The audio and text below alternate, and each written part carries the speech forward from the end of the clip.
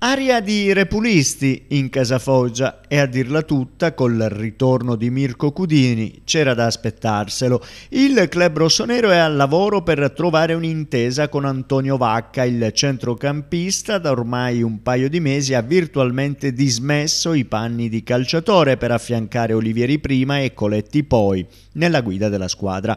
Ovvio che l'arrivo di Cudini cambia gli scenari, con Vacca destinato a rescindere il suo accordo col club e a cercare spazio altrove. Le richieste non gli mancherebbero per concludere da qualche altra parte la sua carriera da calciatore prima di avviare quella di allenatore. Intanto si è sbloccata la situazione legata all'ex capitano Alessandro Garattoni.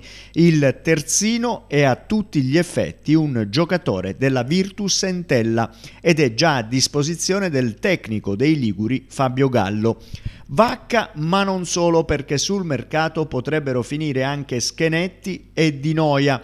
I due centrocampisti hanno entrambi il contratto in scadenza e in caso di offerte in questi ultimi giorni di mercato potrebbero fare le valigie e salutare.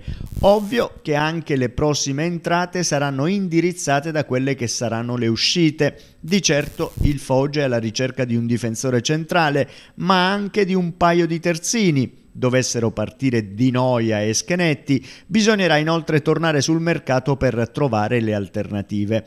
Non a caso, nelle ultime ore al Foggia è stato accostato un vecchio pallino di Cudini, il centrocampista Tenko Rang, 24 anni da compiere a maggio prossimo, attualmente a Lecco ma di proprietà della Cremonese e che Cudini ha avuto alle sue dipendenze al Campobasso, centrocampista bravo in entrambe le fasi, Tenko Rang è un prospetto che farebbe al caso del Foggia, soprattutto nell'eventualità di partenze in mezzo al campo. Intanto squadra al lavoro in vista della trasferta di Francavilla, dove Cudini sarà costretto alla tribuna per una vecchia squalifica da scontare in seguito all'espulsione rimediata nella gara col Potenza di dicembre scorso. La Lega ha intanto comunicato l'anticipo di due giorni della prossima sfida casalinga dei rossoneri. Foggia-Catania Catania si giocherà venerdì 2 febbraio con inizio alle 20.45. La gara era inizialmente programmata per domenica 4.